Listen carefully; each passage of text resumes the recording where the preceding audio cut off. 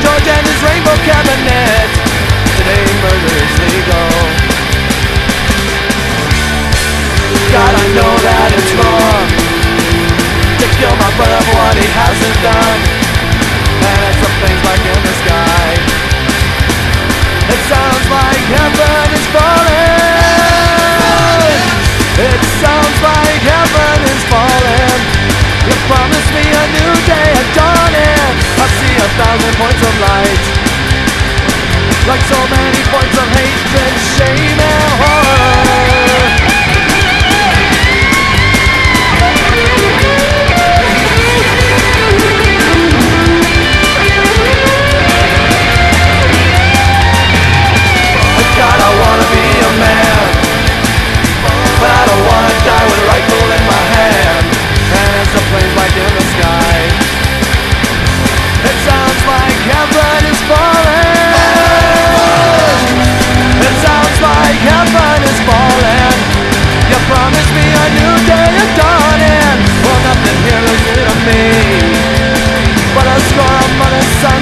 Of mother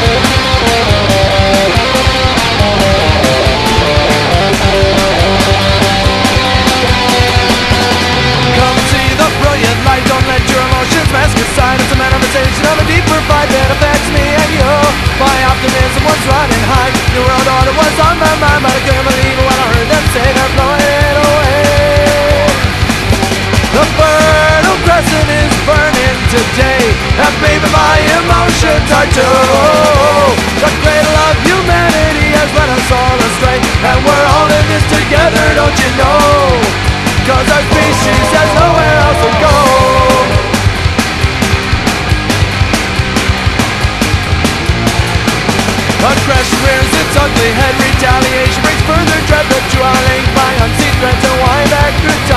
I don't agree with this sedated trend Nationalism is an evil friend. And hatred is still by invisible lines Drawn in our minds. The fertile crescent is haunting us today. And maybe our instincts are too The ghost of humanity is warning us this way. And I think we all should eat it, don't you know? Cause we've got nowhere else to go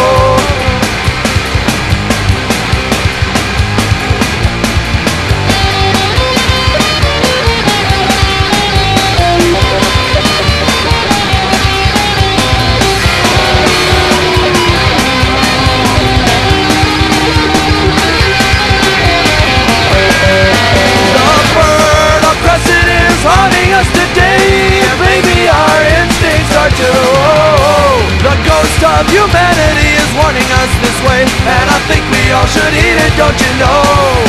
Cause we've got nowhere else to go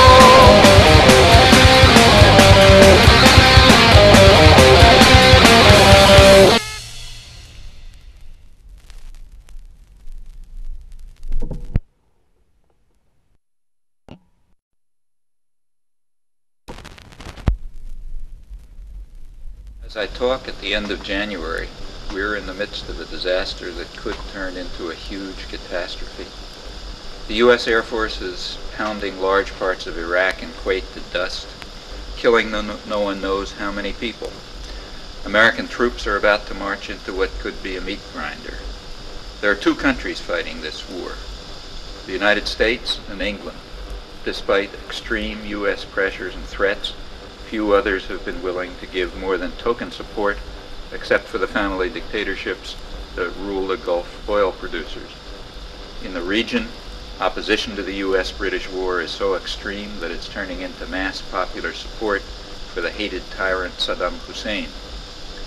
Why are the United States and England virtually alone in fighting a war that almost no one else wants? It's something that we ought to try to understand. Let's go back to last July when the Iraqi dictator was George Bush's amiable friend and favored trading partner. True, he was a murderous gangster who had set up maybe the worst tyranny in the world. But you could make plenty of money trading with him, and it looked as if he was our thug, so therefore he was quite okay. On August 2nd, everything changed. The State Department had let Saddam Hussein know that it had no serious objection if he settled some border disputes with Kuwait by force, but he took over the whole country. That's not acceptable. This region is U.S. turf, and no one, and that means no one, is allowed to strike an independent course. The Iraqi dictator therefore changed overnight from a moderate whose behavior was improving to a new Hitler who had to be stopped before he conquered the world. He had stepped on the wrong toes, ours. There were two very different reactions to Iraq's aggression. The first was at the United Nations, where the Security Council immediately imposed sanctions. And that means sanctions and diplomacy. That means negotiations to arrange withdrawal as the sanctions take effect. That's actually the usual U.S. response to UN response to aggression. Usually that response is blocked by the great powers. Uh, the United States, in fact, is far in the lead with Britain right behind it. Usually they support or carry out aggression themselves. But the two warrior states happened to be opposed to this act of aggression instead of supporting it, carrying it out. So they allowed the UN sanctions to be imposed. But the U.S. and Britain at once moved to undercut the peaceful means prescribed by international law. Sanctions were undercut by dispatch of a huge expeditionary force to the desert instead of a small deterrent force which could be kept in place while the sanctions took effect, as they were almost sure to do in this case and the U.S. and Britain made it crystal clear that they would not permit any form of diplomacy. Now that's important to understand. The official story is that George Bush went the last mile for peace, turning to force only after extraordinary diplomatic efforts were exhausted. Those are the words of the president. Now, no one expects a government to tell the truth, but that's a bit too much. From August, the U.S. position has been explicit, unwavering, and unambiguous there will be no negotiations.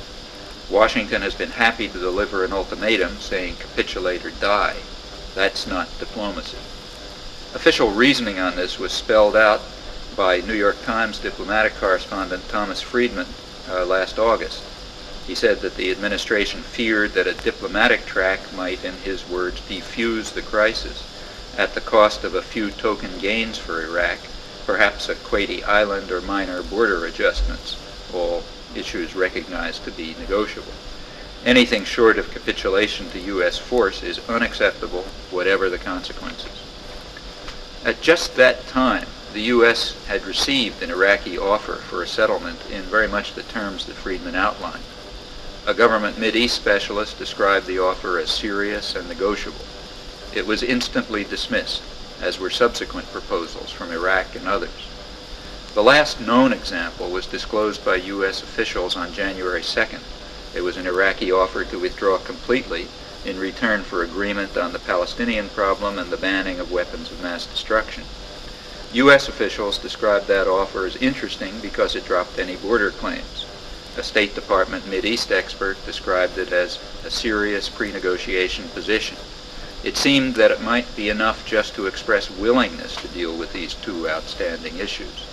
George Bush's response was a letter to Saddam Hussein saying that there would be no negotiations, capitulate or die. Now the official reason for this is that the United States can't reward aggressors by allowing what's called linkage to the Arab-Israel conflict and the elimination of weapons of mass destruction, as Iraq has in fact long requested. But we know for certain that the official reason is a fraud. The U.S. commonly rewards aggressors and pursues elaborate linkage even in the case of far worse crimes than this one. Furthermore, the U.S. had rejected a diplomatic settlement of these two outstanding issues, including Iraqi offers, long before the invasion of Kuwait.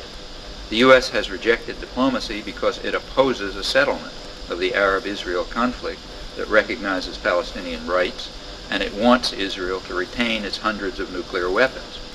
Since the U.S. is virtually alone in the world in this stand, apart from Israel, it rejects diplomacy, and therefore rejects linkage.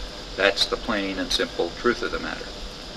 Why have the U.S. and England insisted on rejecting a diplomatic settlement which might well have ended the crisis without war? To answer this question, we have to ask just how these two countries are different from others, and the answers are pretty clear.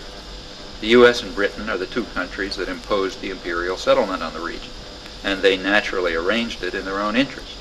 The settlement they imposed guaranteed that the United States and its British ally would control the richest energy reserves in the world and crucially would benefit from the enormous profits that they yield. These profits have given very substantial support to U.S. and British corporations, financial institutions, and their economies generally. The essential points captured by a joke going around Wall Street. Question. Why do the United States and Kuwait need each other? Answer. Kuwait is a banking system without a country, and the United States is a country without a banking system. Like a lot of jokes, it's not a joke. There's a second major respect in which the U.S. and Britain are different from their allies. They have troubled economies, but they have a near monopoly of force. With the Russians having withdrawn from the world, there's no longer any deterrent to their use of force. It hardly comes as a surprise that the two warrior states want to establish the principle that the new world order is to be ruled by force, in which they reign supreme. That's not a pretty picture, and it's going to become much uglier if the citizens of the two radical militarist states allow this to happen.